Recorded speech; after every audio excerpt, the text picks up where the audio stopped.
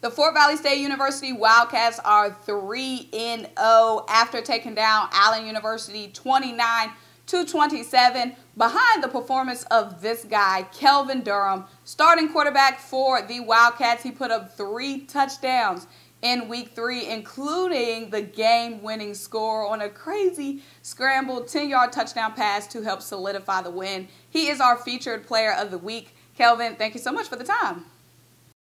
Thank you. So the team is now 3 and 0 for the first time since 2004. How does it feel to be a part of that?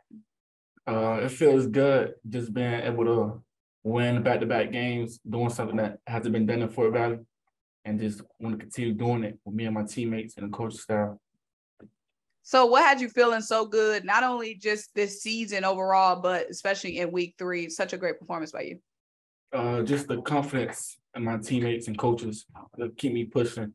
Even though I didn't have the games I won in the first two weeks, they still had confidence in me to make the plays that needed to be made.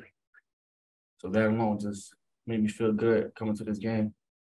So they always say, you know, quarterbacks, you want to have a quarterback that can, when the ball is in their hands and you're down, like you believe in that guy under center, you know, he's going to lead us to a win. And you you show that versus Allen. How how did you feel starting that drive knowing you had to come out with a touchdown? Uh it just felt like a normal drive to me, honestly. It just I knew he was gonna say something like that. yeah, I know we had to make a or put the ball um put the ball in the end zone. So I taught my receivers I told them I need them, and they came through and made plays for me. So every drive is just the same drive for you. No drive feels different. You your heart wasn't racing a little bit. No, no pressure. Drive, same goal, trying to get in the box. so when you look at yourself and do a little self-assessment, what part of your game are you the most proud of right now? Uh, I'm the most proud of me being able to manage the game and stay controlled throughout the game. Like not get too high, not get too low, just remain comfortable and just be able to be the same way throughout the whole game. Okay, you definitely showed that, especially in that clutch moment. So, what has been the key to success for Fort Valley this season? Like I said, three and first time since 2004. What has you guys feeling so good? Uh, like what our coach tell us all the time: stopping the run, protecting the football, and winning the kicking game.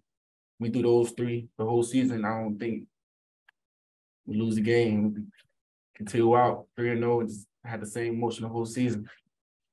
Okay, so as you look ahead to next week and to the rest of the season, you guys are 3 and 0. You're doing so many things right, but I know you guys are real critical of yourselves. What are some things that you want to see in the coach and everybody want to see tightened up in order to win in the SIAC this season? Uh, really offensively, we haven't played our best offensively, and, and we still three and as you said. So once we get on the right track offense, I think we'll be much better team as the season goes on.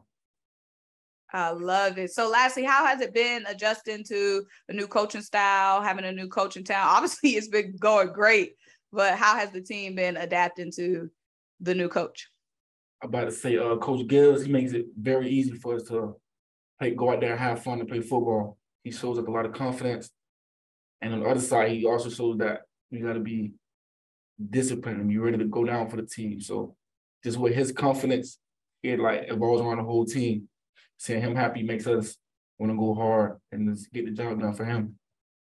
I love it. Well, guys, I am Symone. He is Kelvin Durham. Three touchdowns against Allen University to get 29 27 win. These guys are undefeated right now. Thank you again so much for joining me. Thank you for having me.